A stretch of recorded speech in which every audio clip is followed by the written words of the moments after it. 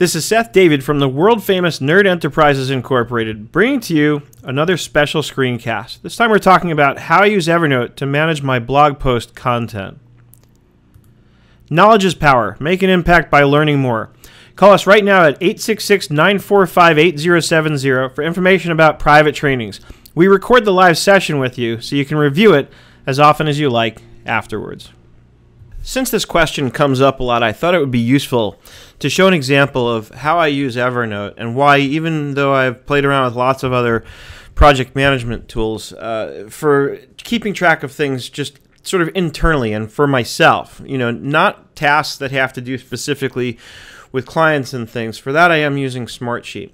But when it just comes to keeping track of my own stuff and what I have to do, where it doesn't involve collaborating with anyone else per se, this is what I do. And as you can see, and I've done videos on my kind of daily notes process, which now you can see how I get it laid out. Every day when I get to my desk, I open up Evernote and I bring up the notes for today. You know, the process is I take yesterday's notes and copy it over into a new note.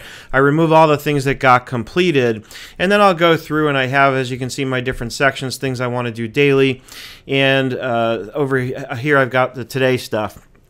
And as I was getting ready this morning to get my uh, BQE software post ready, I can actually now check this off. That that part is completed.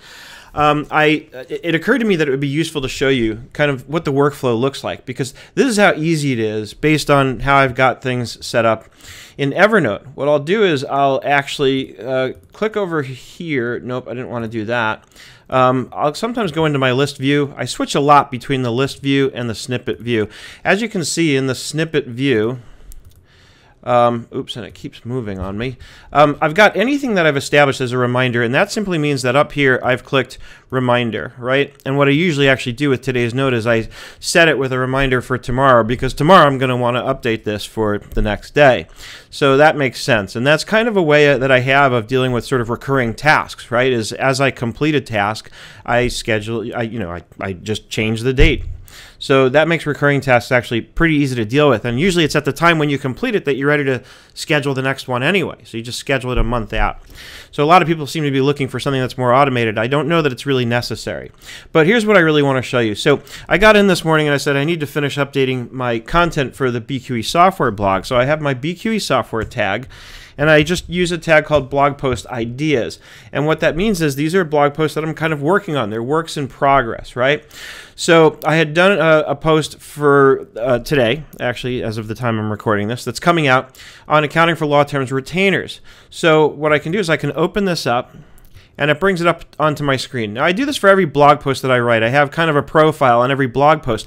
Makes it easy to search. Yes, I can search online. I can search. I can use the blog search tool, but it's helpful to me to have this right here in Ever, Evernote, especially since I kind of live here, because this way, if somebody emails me and says, "Hey, Seth, do you have anything on law firms?" I can do an Evernote search for law firms and use the blog. Once it becomes goes from an idea to a post, then I tag it blog post profiles.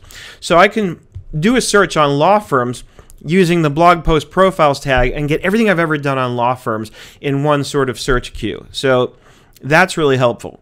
Meanwhile, look what I did here. Because this is a series that I'm doing, I made sure that I linked the profile from the previous post right here. And notice what it, it does. Evernote has the link. It's based on the actual title of the note. And I'm going to right click this and choose open in a new window. It almost works just like as if I was in a browser tab, right?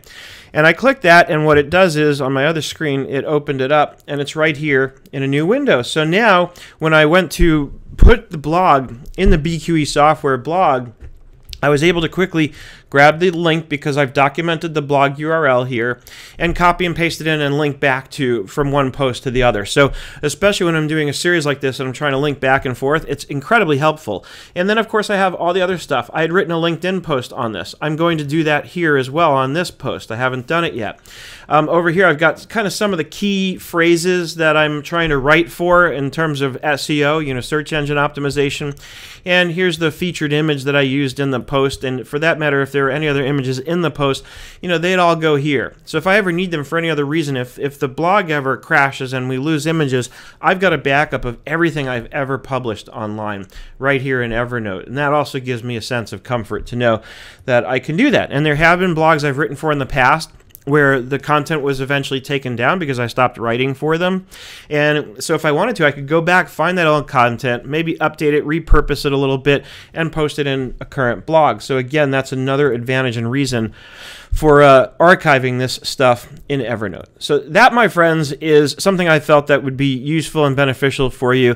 As always, if you want help figuring out how to use this in your own business, please go over to schoolofanswers.com and sign up for a one-hour session with me, and I can help you get started or actually polish up whatever it is you might already be doing in Evernote if not getting started. I can help you start using Evernote to a great end to be more productive, to manage things more effectively, more efficiently, and ultimately we know what that means. Increased efficiency equals increased profits and also more time to get things done and have more fun. As always, I hope you learned something and had some fun along the way. I hope you're having an absolutely fantastic day, and I look forward to seeing you on the web.